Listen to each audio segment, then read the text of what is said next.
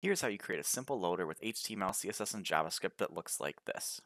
Create an index file and set up the basic HTML structure. Begin by creating a div with a class of loading overlay. Style that up with a dark background with some opacity, position fixed, width and height 100%, top 0, and z index of 1. Below our loading overlay, we're going to create a loader container. Inside this container, we're going to place our loader GIF. Add some styles to our loader container. Position fixed, top left 50%, transforming translate at negative 50%, z index of 2. Style our loader container image tag, height and width of 50 pixels. Wrap these two divs in a loading container. Loading container, a display none. Add our a tag, ID of test loader, some paragraph text right below it find the JavaScript for our onClick. Create a function for showing the loader. Create a function to hide our loader. To show the loader, we just have to target the loading container div and do a display block. To hide the loader, we just have to do a display none. Inside of our onClick, we do show loader. Then we call set timeout and we call our hide loader. Click our link, we see the loader. In a second, it goes away.